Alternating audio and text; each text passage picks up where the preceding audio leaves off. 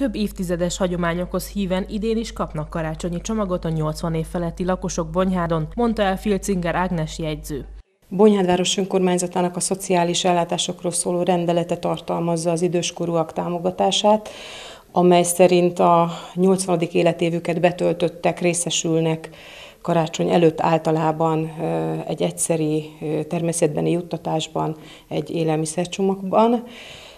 A tavalyi évben mintegy 650 személy részesült ebben a támogatásban. Nagyon várják az idősek, nagyon kedvelik, hiszen egy személyes jelenléttel kerül átadásra, és nagyon várják az átadót magát is, aki általában a képviselőtestet valamely tagja. Azonban az időseknek ahhoz, hogy támogatást kapjanak, bizonyos feltételeknek meg kell felelniük.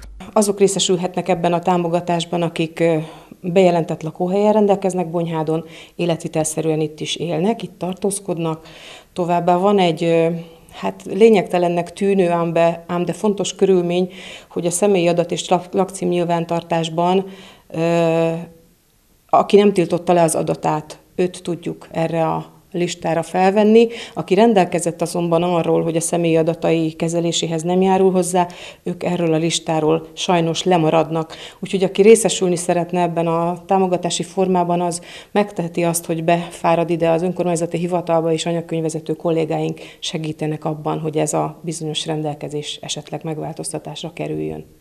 A jegyző szerint fontos momentum a személyi adat és lakcím nyilvántartásban kezelt információkkal kapcsolatban, hogy hogyan is rendelkeznek mindezekről a lakosok. Némileg talán ezzel a dologgal összefügg az, hogy a következő évben, 2022-ben országgyűlési képviselőválasztás lesz, és probléma származott abból négy évvel ezelőtt is, 2018-ban, hogy akik nemzetiségi választópolgárként kérték a nyilvántartásba vételt, és kiterjesztették egyúttal ezt a nyilvántartásba vételt az országgyűlési képviselőválasztásra is, ők sajnos pártlistára nem tudtak ezúttal szavazni, hanem csak a nemzetiségi jelöltre.